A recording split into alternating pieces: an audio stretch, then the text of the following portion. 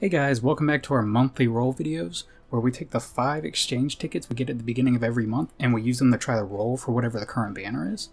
So, we're going to be doing the JP account now, and as you can see, I actually have no tickets on the account, and that is because I accidentally did the video without recording it.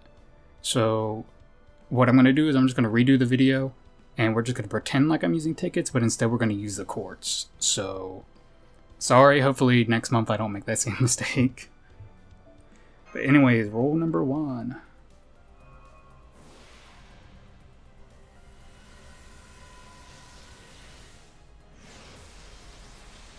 Ooh, Archer card. And nothing. Cool. Roll number two.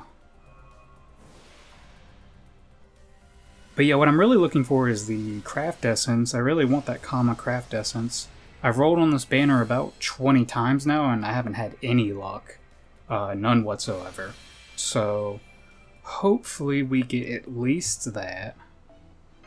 Gonna be a little upset if we don't. And more nothing. Again, I you can't expect too much. I mean, it, it's a craft essence, but it's still a five star craft essence, so I guess it's to be expected at some level, but nothing. And last but not least, come on, give me the craft essence. Aww.